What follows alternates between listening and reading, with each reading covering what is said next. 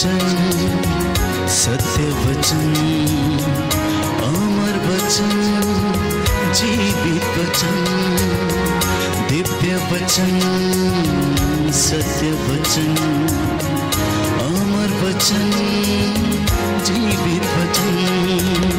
साई रबामा बनी रबामा बगरी निज निज निज निज निज।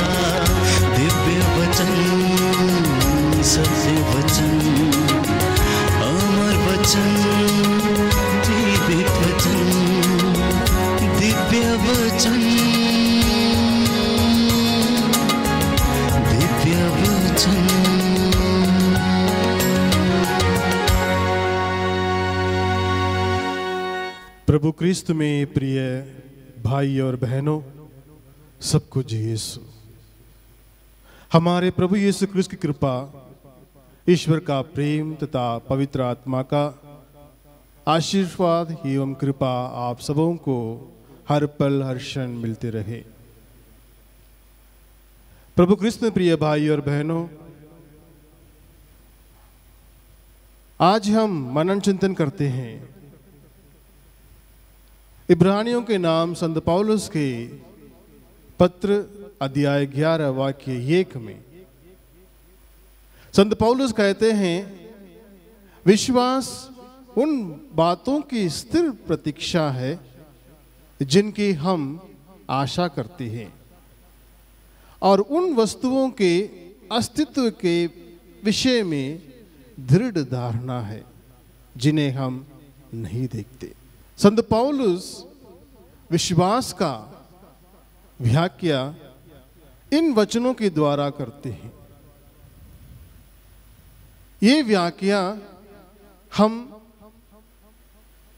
हमारे विश्वास के पिता जो पुराने विधान में हम लोग देखते हैं, इब्राहिम,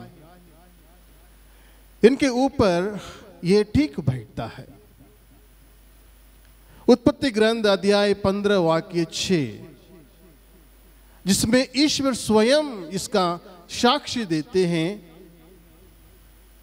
पिता ईश्वर इब्राहिम के विश्वास को देखकर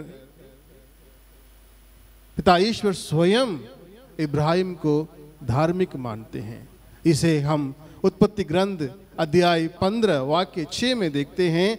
अब्राहम ने ईश्वर में विश्वास किया और इस कारण प्रभु ने उसे धार्मिक माना।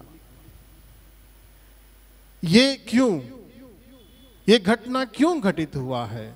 इसके ठीक एक वाक्य पहले अगर हम देखते हैं, अध्याय पंद्रह, वाक्य पाँच में अगर देखें, पिता ईश्वर इब्राहिम को अपने घर के बाहर बुलाते हैं, बुलाकर उनसे वार्तालाप करते हैं और कहते हैं, इस प्रकार लिखा है आकाश की ओर दृष्टि लगाओ और संभव हो तो तारों की गिनती करो। उसने उससे यह भी कहा, तुम्हारी संतति इतनी ही बड़ी होगी। प्रभु कृष्ण प्रिय भाई और बहनों, जब पिता परमेश्वर इब्राहिम से इस प्रकार के वार्तालाप करते हैं, उस समय उनकी उम्र, उनकी आयु 100 साल लगभग हो चुका था। और जबकि उनकी पत्नी सारा एक भांज थी। और फिर भी पिता ईश्वर के इन वचनों पर इब्राहिम विश्वास करती है। इसलिए संत पौलुस इस घटना को रोमियो को लिखते हुए अपने पत्र के अध्याय चार वाक्य बीस और इक्कीस में संत पौलुस कहते हैं तो भी उनका विश्वास विचलित नहीं हुआ। मतलब जब उनकी उम्र सौ साल के लगभग हो चुका था और उनकी पत्नी सारा भांज थी, तब भी उनका विश्वास विचलित नहीं हुआ। उन्हें ईश्वर की प्रतिज्ञा पर संदेह नहीं हुआ, बल्कि उन्होंने अपने विश्वास की दृढ़ता द्वारा ईश्वर का सम्मान किया। उन्हें पक्का विश्वास था कि ईश्वर ने जिस बात की प्रतिज्ञा की है, वह उसे पूरा करने में समर्थ है। इसलिए पिता परमेश्वर नबी इब्राहिम को धार्मिक मानते हैं, क्योंकि उन्होंने पिता ईश्वर के उन वचनों पर पूर्ण विश्वास किया। और इसे ही इब्रानियों के लिखते हुए संत पौलुस अध्याय ग्यारह वाक्य एक में जिसे हमने शुरुआत में देखा कि विश्वास उन बातों की स्थिर प्रतीक्षा है, जिनकी हम आशा करते हैं, और उन वस्तुओं के अस्तित्व के विषय में दृढ़ धारणा है, जिन्हें हम नहीं देखते। जब प्रभु यीशु क्रिस्त के पुनरुत्थान के बाद जब प्रभु यीशु क्रिस्त उनके सारे शिष्यों को जो बंद कमरे में बैठे थे, उनको अपना दर्शन दिया, जब संत थॉमस वहाँ उनके बीच में नहीं था। जब संत थॉमस वापस आते हैं, बाकी शिष्य उनसे कहते हैं, हमने प्रभुवर को देखा है, वो जीव उठे हैं। संत थॉमस विश्वास नहीं करते। जब उसके बाद जब प्रभु यीशु क्रिस्त अपने शिष्यों को अपना दर्शन देते हैं, जब थॉमस उनके बीच उस समय वहाँ पर था, तब तब प्रभु यीशु क्रिस्त संत थॉमस को अपने पास बुलाते हैं, ये देखो मेरे हाथ, और अपना उंगली यहाँ रखो। ये देखो मेरा बहल, इसमें अपने हाथ डालो। अविश्वास नहीं, बल्कि विश्वासी बनो। आज इस वचन द्वारा प्रभु हम सबों को बुलाते हैं उनके हर एक वचन पर, हर एक कथन पर विश्वास करने के लिए। वो विश्वास हमें अपने भाई बहनों के साथ पूर्ण रूप से करना है। अगर ईश्वर पे विश्वास करना है अपने भाई बहनों पर, अपने रिश्तेदारों पर, अपने प्रियजनों पर, हमें पूर्ण विश्वास करना है। तभी हम ईश्वर के विश्वास में हम आगे बढ़ सकते हैं। अगर इसका एक झलक हम देख सकते हैं, इब्रानियों को लिखते हुए ये अध्याय दस वाक्य तेईस में संत पौलुस पुनः कहते हैं, हम अपने भरोसे का साक्ष्य देने में अटल एवं दृढ़ बने रहे, क्योंकि जिसने हमें वचन दिया है, वह सत्य प्रतिज्ञ है। और इस बात पर हम पुराने विधान में पुनः हम देख सकते हैं अयुब के जीवन को। अयुब एक अमीर व्यक्ति। उनके साथ बहुत कुछ, ज़मीन, जायदाद, बहुत चीज़ें थे, पूरे खुशहाल परिवार था उनका। सब लोग मिलजुल कर पूर्ण रूप से प्रेम से रहते थे, लेकिन उनके जीवन में भी ईश्वर एक प्रलोभन भेजते हैं। उनके हर एक चीज़ को पिता ईश्वर शैतान के हाथ में दे देते हैं। अयुब के परीक्षा लेने के लिए। लेकिन पिता परमेश्वर विश्वास करते हैं। शैतान से कहते हैं, तुम कुछ भी करो, लेकिन अयुब मुझे न करेगा नहीं। और यही होता है। अयुब कभी विचलित नहीं हुआ। वो कभी ईश्वर के विश्वास से, ईश्वर के प्रेम से, ईश्वर के भरोसे से बाहर नहीं गया। वो अपने विश्वास को दृढ़ बना रखा ईश्वर के ऊपर और उसका फल हम देखते हैं। अयुब पुनः वो जो भी वो उनसे छीन लिया गया था, वो सब कुछ को वापस पा लेता है। प्रभु कृष्ण, प्रिय भाई और बहनों आज ईश्वर हम सबों को बुलाते हैं, आमंत्रित करते हैं, ताकि हम अपने विश्वास को टटोलें, अपने विश्वास को देखें, हम अपने भरोसे को देखें, हम कितना भरोसा रखते हैं।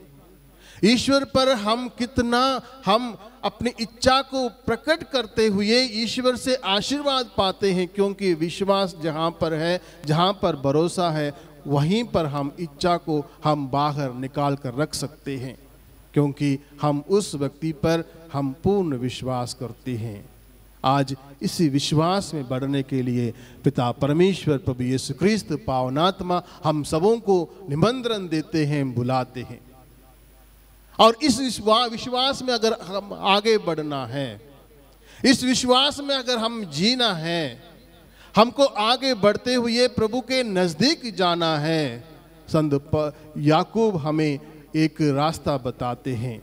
अपने पत्र अध्याय दो वाक्य सत्रह में कहते हैं, कर्म के अभाव में विश्वास पूर्ण रूप से निर्जीव होता है। संत याकूब कहते हैं, अगर हमें ईश्वर के विश्वास में आगे बढ़ना है तो हमें उसके लिए कार्य भी करना है। अपने कर्म भी, अपने विश्वास के साथ साथ आगे बढ़ना है। क्योंकि प्रभु यीशु क्रिस्त अपने शिष्यों के साथ रहते समय अपने शिष्यों को एक पाठ पढ़ाया था, जिसे हम संतमत्ती के सुसमाचार अध्याय सत्र वाक्य बीस में देखते हैं।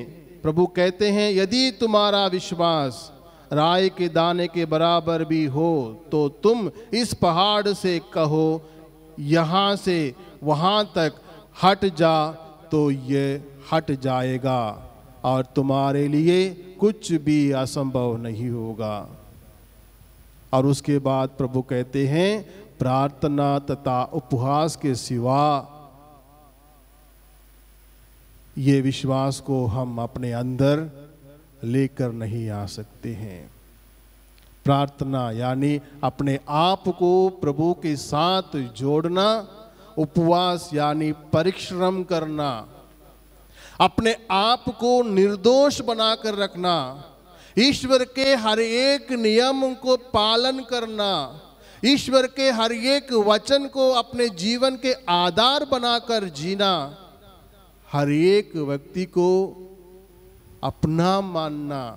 हर एक व्यक्ति में ईश्वर को खोजना, हर एक व्यक्ति में ईश्वर को पहचान कर एक दूसरे को आदर सम्मान करना, जब इस प्रकार के कार्य में जब हम आगे बढ़ते हैं तो हम अपने आप को ईश्वर के नज़दीक पाते हैं। ना केवल नज़दीक पाते हैं और ईश्वर हमारे हर एक व्यक्ति के हृदय में आकर बसते हैं। क्योंकि प्रभु कहते हैं, जो मेरे नाम पर स्वर्गिक पिता से जो कुछ मांगेगा, उन- मैं उन्हें उसे अवश्य प्रदान करूँगा। अगर उसे पाना है, हमें ईश्वर पर पूर्ण भरोसा रखना है, ईश्वर के नियमों को पालन करना है, ईश्वर के वचन पर आगे बढ़ना है। इसे ही विश्वास के पिता इब्राहिम अपने जीवन में पालन किया। इसे ही नबी अय्यूब अपने जीवन में पालन किया। कभी ईश्वर के विरोध नहीं गए। कभी ईश्वर से अपने मुँह नहीं मोड़े। ईश्वर के द्वारा सिखाए हुए मार्ग पर ही वे आगे बढ़ते रहे। इसी वजह से पिता ईश्वर नबी इब्राहिम को धार्मिक मानते हैं। इसीलिए पिता परमेश्वर हर पल, हर क्षण नबी इब्राहिम के साथ रहे। इसी वजह से अयूब को पिता ईश्वर ने आशीर्वाद दिया। आज वही आशीर्वाद को, वही कृपा को पिता परमेश्वर आज हम सबों को देना चाहते हैं। ये हमारे ऊपर निर्भर करता है कि हम उसे पाने के लिए हम अपने आप को कितना योग्य बनाते हैं। अपने आप को हम कितना ईश्वर के नज़दीक पाने की कोशिश करते हैं, ये हम हर एक व्यक्ति के ऊपर निर्भर करता है कि हम अपने आप को कितना हम निर्बल, निर्दोष बनाकर रखने की कोशिश करते हैं। इसलिए प्रभु कृष्ण में प्रिय भाई और बहनों, आइए हम अपने आप को ईश्वर के हवाले समर्पित करें। ईश्वर के चरणों पर अपने आप को समर्पित करें। उनसे आशीष एवं कृपा मांगे ताकि हम ईश्वर के प्रिय बन पाए। ईश्वर हमारे अंदर आकर बसे ताकि हम ईश्वरमय हो सके और एक दूसरे को हम ईश्वर के आशीर्वाद बनकर हम जीवन में आगे बढ़ते रहे ईश्वर हम सबों को अपनी कृपा से भर दे। आमीन।